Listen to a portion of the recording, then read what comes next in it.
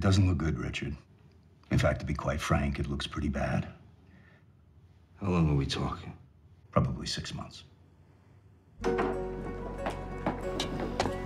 My name is Richard. I'm your professor. From here on out, we're going to do things very, very differently. Oh, if any of you sell marijuana, please visit me during office hours. Thanks. Bye. I have cancer, and it doesn't look good.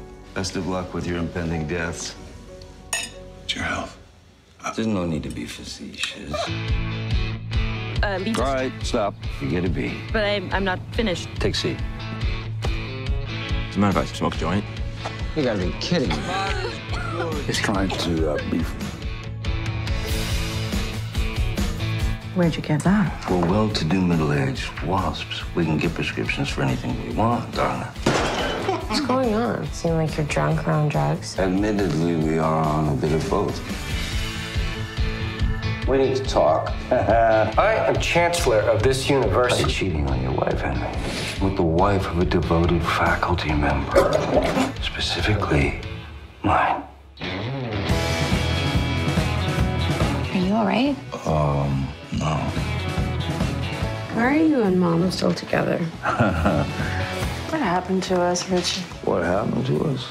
Life. Damn it, Richard, those are crystal. She winks at me.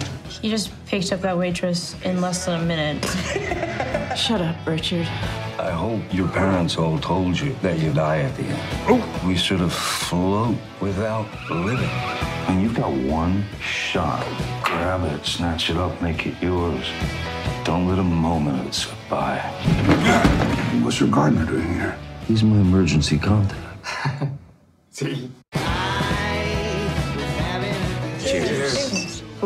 that it? Yeah, I think, I think so. Yeah. Yeah, that's it. I'm Richard. Mm. Okay. That's a hell of a greeting.